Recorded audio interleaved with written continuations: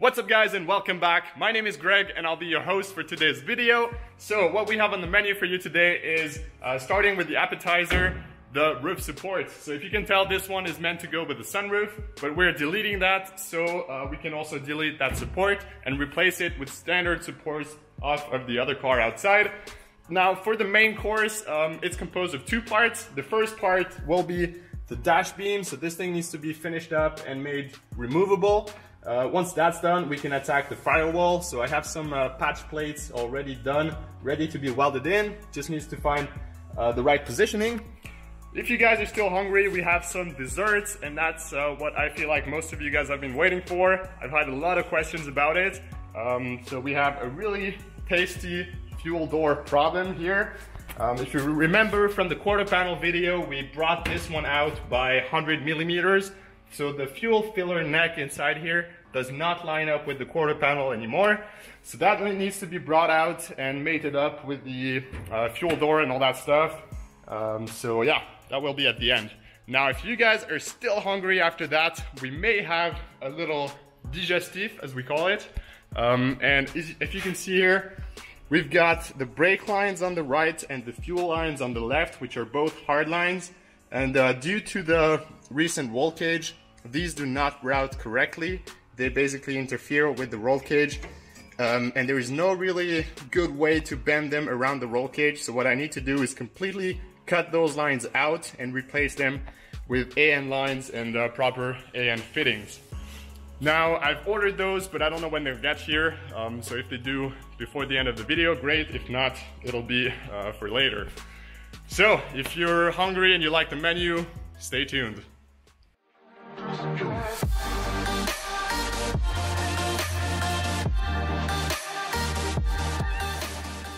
Starting off with the roof support, the first thing to do is obviously to remove that factory support that I don't need anymore. Uh, the thing I'm using here is my trusty little spot weld drill bit. So I got it off eBay and it holds up perfectly fine. I'm sure you all seen it work in the uh, roof removal video. So I'm going to use it again on this support. Once that's done, I can clean up the entire contact area from the roof skin. So if you can see from uh, removing the roof, we have a bunch of imperfections due to the um, spot welds that were there. So I'm going to clean that up so we have a nice space to work with.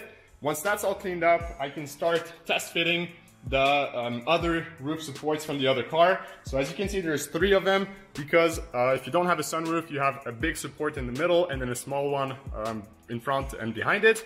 So a little bit of different setup and I hope it fits uh, with those huge bars from the roll bar, uh, the roll cage. So I'm not sure yet and if it doesn't, we'll figure something out. Let's do it.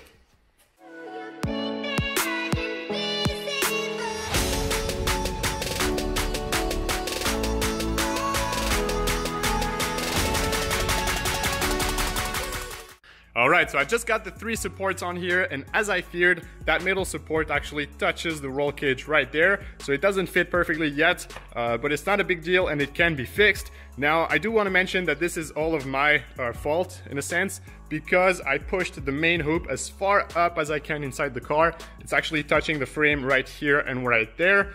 That's my choice because I'm kind of a tall person. Um, so I wanted to give the people inside the car as much head clearance as they can get. Um, so that's my choice. That's why I'm running into this issue right now.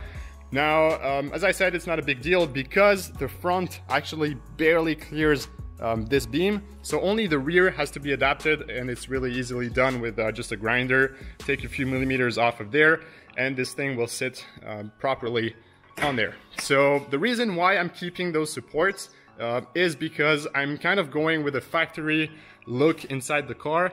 So this thing serves as a bracket, a mounting bracket to hold um, the inside cabin lights. I do want to keep those, that's why I need the beam, and the small ones are just there for, um, I guess, vibration reduction and things like that.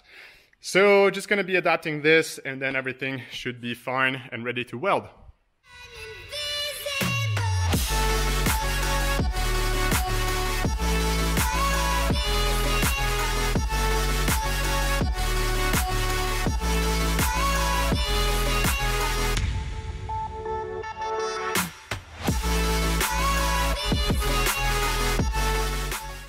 So I just got done cleaning up the welds. I made sure to grind everything down as flat as possible so the new roof has a nice surface to stick onto and it prevents from any leaks or any water coming in. Um, so that's all good to go. You can see the cutout again for the roll cage. It seems to work perfectly. Now all three are uh, really solid. I can almost uh, sit on there. So that's the appetizer all done. Now onto the main course.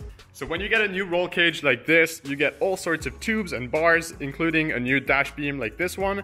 And it's all nice and fun until you realize that you have to put all of the original brackets uh, back onto this beam. So everything that holds the dash, the airbags, all the accessories, just basically everything in the center here.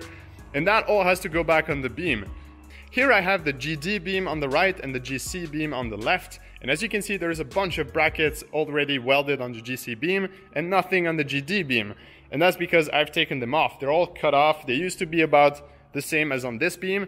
Now they're not there anymore. They're all already welded onto this new bar.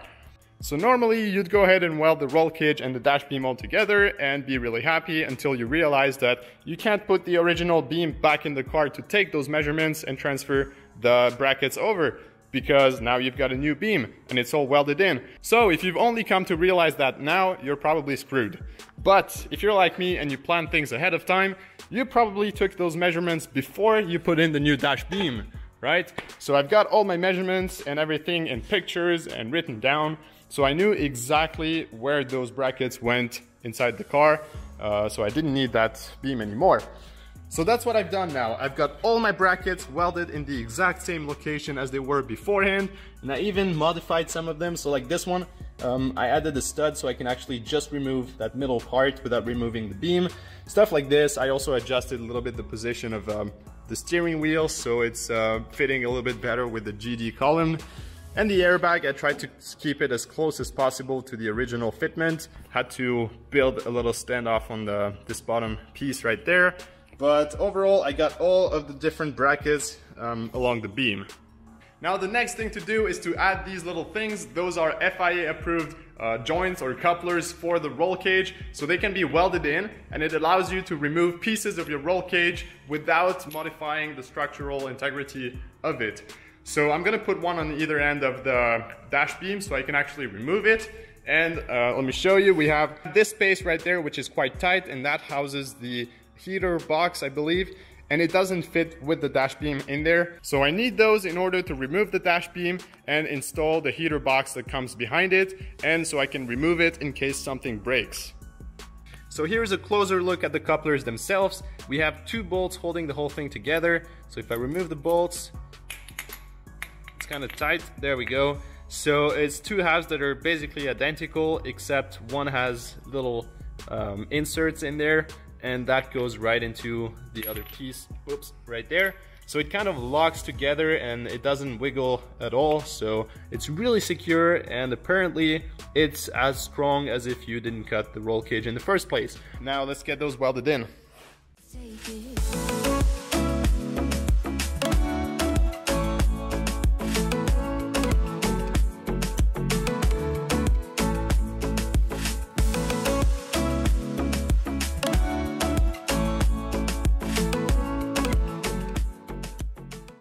The welds are done. I did both the A-pillar and those at the same time, so I might have put a little bit too much heat into the metal and distorted the beam, but um, the only way to know for sure will be to remove the beam and see if there is any tension in it.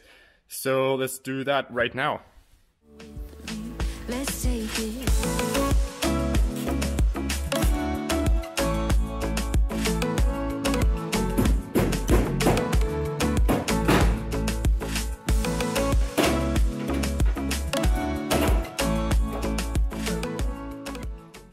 So unfortunately, this is exactly what I was talking about. So this side is placed correctly, and this side has a one millimeter gap right there.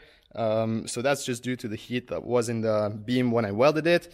It's not a huge deal. I can just use a set of spanner and then bring the A-pillars together real quick just to put the beam in. So it's still going to work, but in retrospect, I should have welded this piece first, waited for it to cool off, and then do the beam um, on top. But it's not a huge deal, it's just one millimeter, so really it doesn't add that much tension in the tubes.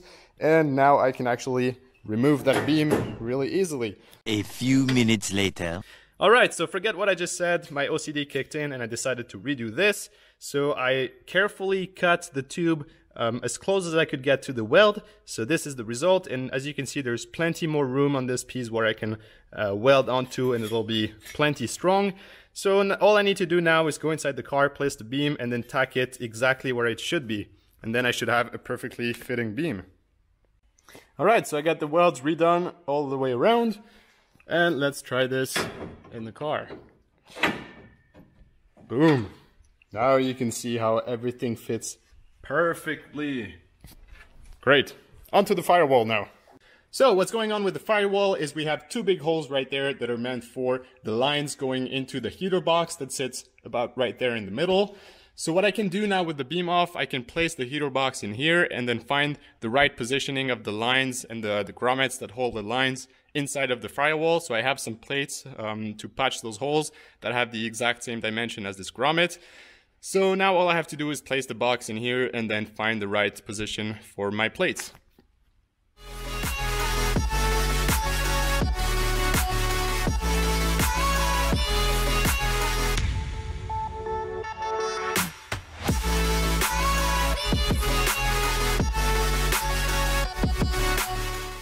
Alright, so I've just finished placing the heater box with the dash and all the wiring in here. It all lines up perfectly, even with the new dash beam, so that's all good. Now I have the exact position of where my lines will go from the um, AC here and the coolant on that side. So now what I can do is take my plates that I made earlier and all I have to do is just weld them in in the correct position.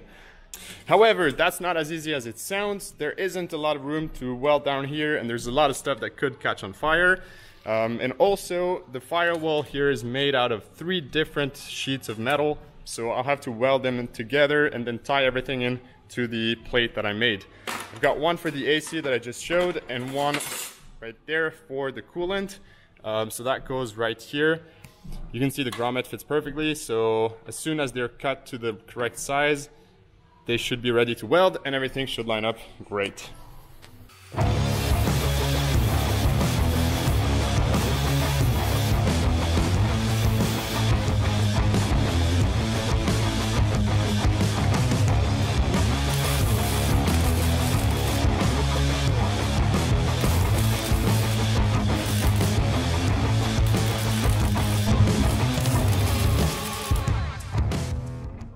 So that should be plenty for now.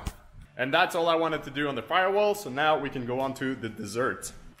The current state with the filler neck is as such. We have the new panel, we have the old bracket of the original car, which goes right in here. But now the issue is the bracket does not line up with the metal anymore, and I can't even reach and open the cap anymore. So that's a big issue. I need to bring the inside of the metal flush with the inside of this bracket so that it seals and everything is tight. Now the way to do that is first to attach this bracket to the quarter panels just using four screws. That's easy enough. Once that's done, I need to go in here and cut out the metal around the cap um, so that I can move it closer to the bracket and make it touch the inside there. So that's probably a little bit confusing right now, but um, it'll all make sense once I'm done. So I'm just gonna go ahead and start.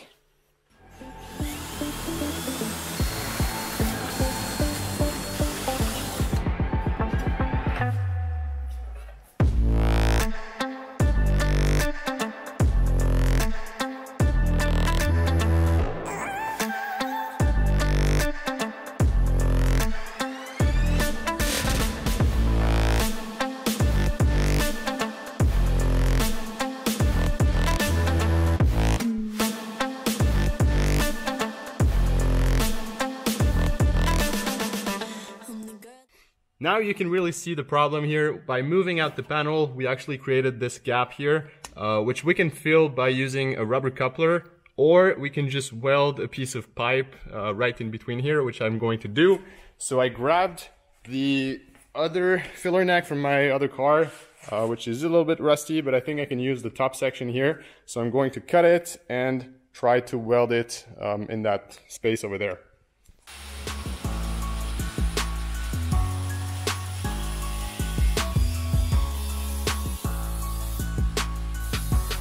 So this is what I had in mind. I've got two pieces of tube right there making the exact bend that I need. Uh, so all I need to do now is clean up the edges, oops, close up some of the gaps and tack them in place.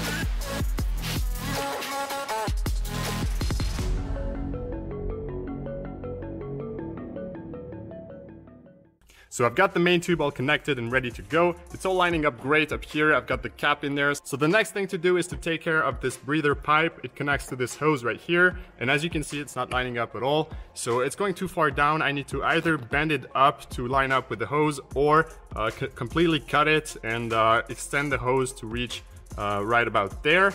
So I'm gonna try and bend it up first. And if it doesn't, I'll just extend the hose. Before removing everything, I actually went in here and got some supports welded onto the metal right there. Uh, that way I can actually remove everything and keep that position um, and I can weld everything shut around it.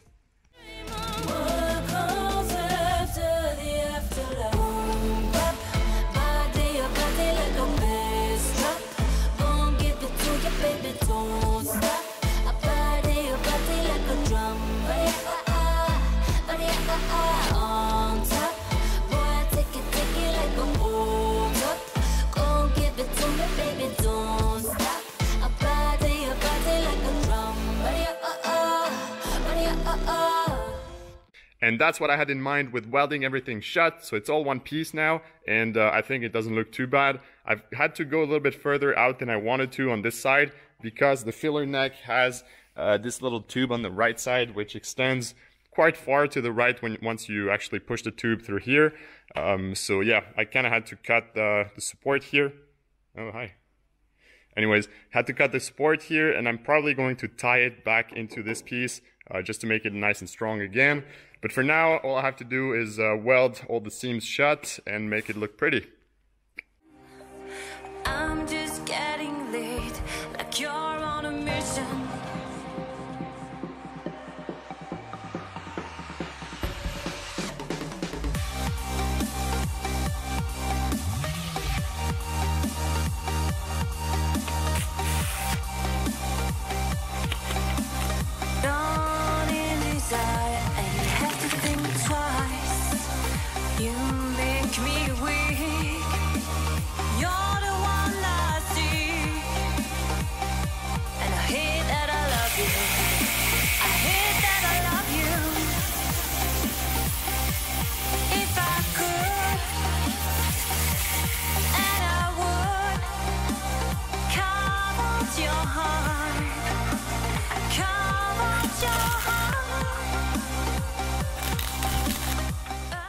So there we have it. This is officially the final look at my solution to the fuel filler neck problem on wide body cars. Um, so that's what I chose to do. Now, um, I feel like it's a pretty good solution. It's really sturdy, it's gonna be durable, and um, yeah, it should match up with the quarter panel just fine now. So I'm still going to put the quarter panel back on and check that everything is fine on the outside. Yep, everything still lines up perfectly, so we are done with the filler neck. So the car is back on the ground and I've checked the clearance between the wheel and the filler neck and it's all looking great. So we've got plenty of room and no issues there. I'm really stoked with how everything turned out on this side. Now I don't have enough time in this video to um, do the fuel lines and the brake lines, but I did receive the fuel lines, they're right there. I don't have the, fuel, the brake lines yet, so that's gonna have to wait for a next video. So that's gonna be it for this video, but we still got a lot done and I just wanna thank you guys so much for all the comments and the support you've been showing lately. It's awesome to share something like this with you guys and get the feedback, the questions, you know, being able to help you guys and also get help from you guys all throughout the build is amazing and I wanna keep it going as far as we can. So I hope you guys stay tuned and I'll see you in the next one. Peace out.